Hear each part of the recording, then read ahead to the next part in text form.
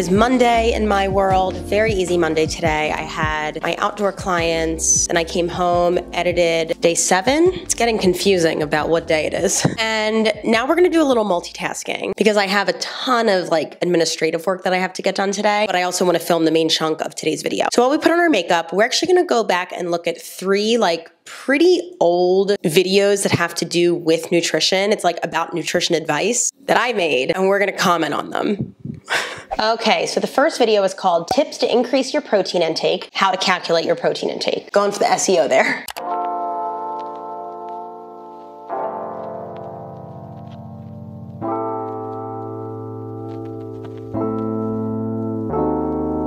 My first tip for you is to make sure that your carbohydrate sources are also high in protein. One of my favorite ways to do this is by eating edamame pasta. This is a really, actually, I stand by this tip. So when you do choose your carbohydrates, trying to make sure that they do have a significant amount of protein in them. A great example of that that we've talked about is beans. And something that I'm recommending right here is a bean-based pasta. The mistake that I make, and I know this because I got a lot of comments about it, I didn't make it clear that like you could also just eat edamame. Like it doesn't have to be like edamame pasta, right? You could also eat lentils or lentil pasta or black beans or black bean pasta. The tip could have been better if I had explained it a little bit more. But I have a feeling, I have a feeling with all of these videos. I think I was very into like affiliate links. Guaranteed the link to this is an Amazon link where I get like, I'll get like a penny if you buy it, but still. So I think that that was part of the reason why I said edamame pasta rather than just edamame. So I know a lot of us have heard of Banza, that's like the big brand, and that's a chickpea pasta, and that is a great resource, but that protein content is actually a lot lower than edamame pasta.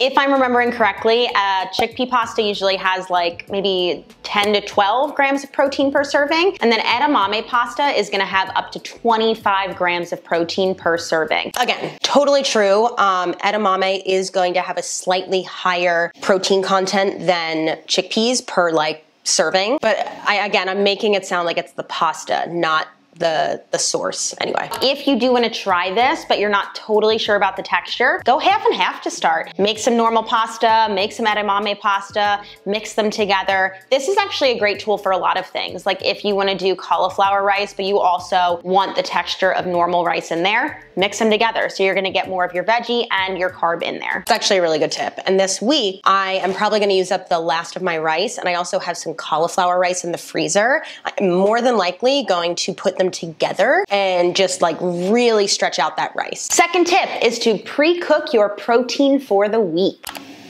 I stand by this one. Okay, I thought this was gonna be really cringy. It's not that bad. I highly recommend doing this because it's gonna take the work and the guesswork out of your week. I talk about this a lot with my nutrition clients, but part of the reason why we don't achieve our goals is because we have too many decisions to make. So by the time it comes to our food and we've made a thousand decisions at work, with our family, with our pets, and we just wanna eat something, we're gonna have decision fatigue and we're going to choose the easiest thing. So why don't we make it easier for ourselves and just have it already pre-cooked in the fridge? That is actually really true. Like how often do you get home from a long day of work and the last thing you wanna do is figure out what to eat, make a meal, let alone decide on what the meal is gonna be, right? So if it's already decided for you, and like I talked about in the first video about ingredient prepping, for me, the hurdle is making sure that things are pan ready. Is everything prepped so that I can throw that shit in a pan and reheat it. I don't really know where I'm going with that sentence, but you get it. And my final tip is supplements. So I don't wanna like beat a dead horse because I know I've talked about this in like every single video, but a really easy way to increase your protein intake is by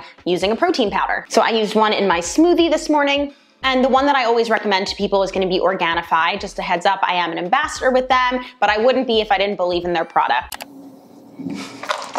I made a video a number of months ago where I talked about like partnerships and sponsorships and things like that that I am proud of, that I'm no longer proud of. In terms of a protein powder, Organifi's is, um, it is great. I don't really prioritize their products anymore because I have created a really good relationship with Gainful. And I think that it's kind of weird to be like promoting multiple protein powders. I don't know, but I will give myself credit. I say right off the bat, I'm an advan- uh, I'm an ambassador and I get a kickback from these. Okay, next one. So this is called Top Tips to Eat Healthier, How to Stay Consistent with Your Diet. Hey everybody, thank you so much for clicking on this video. So today I've got some nutrition tips for you. Specifically, I have three big tips that will help keep you more consistent with whatever your nutrition goals are. Tip number one is to make your groceries as consistent and easy as possible. So what does this look like for me? I order from Aldi via Instacart every single Saturday, and then I have them delivered every single Sunday. I simply just make it part of my weekly routine. Because I've instilled this as a habit throughout my week,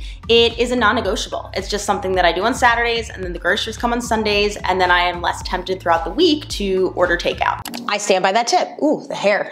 Yeah, the more that you can make your your grocery routine, again, whatever that looks like to you, however you can make it part of your routine is key. You know, with a lot of my clients, we'll literally be on a call and I'm like, okay, what's your grocery plan for the week? Let's pull up your schedule, share it with me. Let's find a time where we can carve this out. And it might seem really like silly and tedious at first, but honestly, to build that habit, it does take a little bit of thought at the beginning. Treat your grocery shopping, your ingredient prep, whatever you have to do to nourish yourself during the week, treat it just like a work commitment. Tip number two is to prep as much as you can. So specifically there, as much as you can, like that is the operative because that's gonna look very different for everybody. Let me show you what I like to do.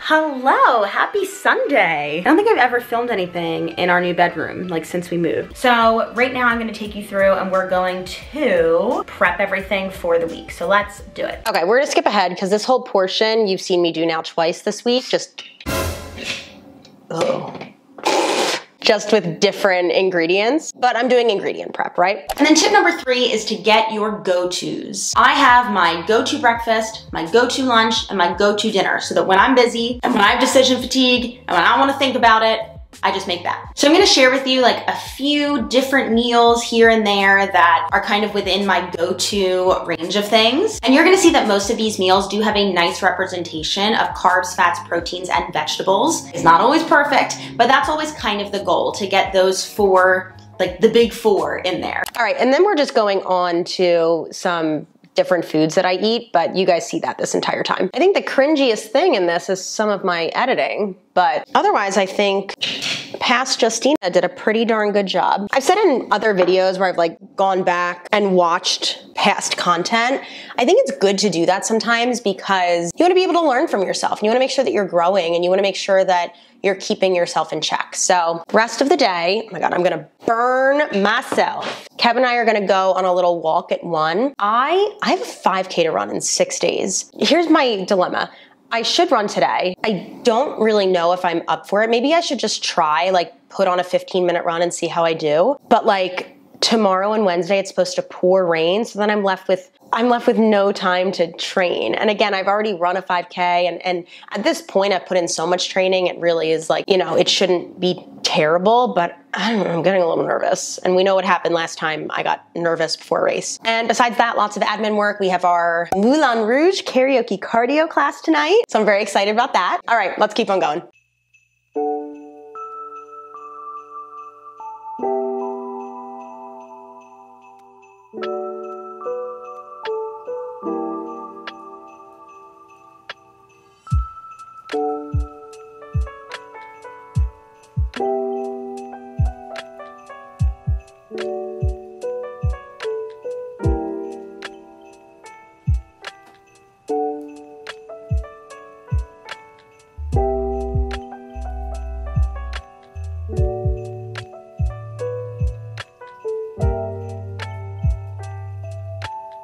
All right, it's about 4.30. I've got an hour till I teach my class, and then I've actually already taught this class multiple times. I already have it filmed, so I don't have to do that. So honestly, like I don't I don't have any more footage for you guys. So we're just gonna wrap it up here. I feel like it was probably a long video anyway. And it's time to check donations. I realize this isn't nearly as exciting for you as for me because You can see the donations right on the side, but I still like doing it. This part of the video is for me. So far, we have raised